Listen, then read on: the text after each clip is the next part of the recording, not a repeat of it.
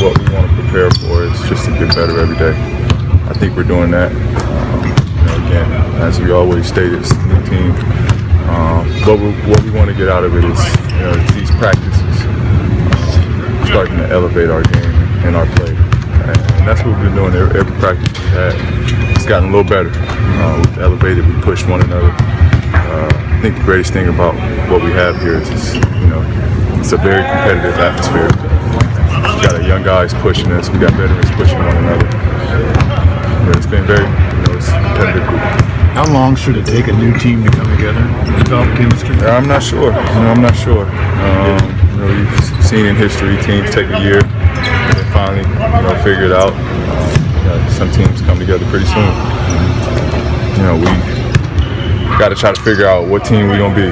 Um, team that you know is on the inclination and you know progressing by game, or uh, you know a team that's gonna take some time. So we got to figure that out. Up to this point, I like where we're at um, chemistry-wise. There's always room for improvement, um, but we got a good foundation on, uh, chemistry as is. Uh, real important, especially how our our, our schedule is.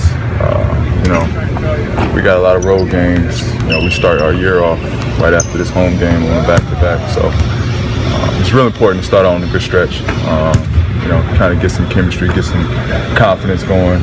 Um, hopefully that just stems through the whole season.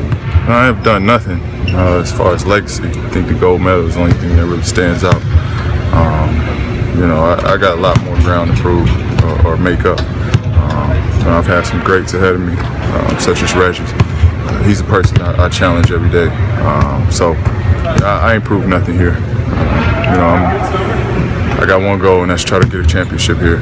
Uh, anything else don't matter right now.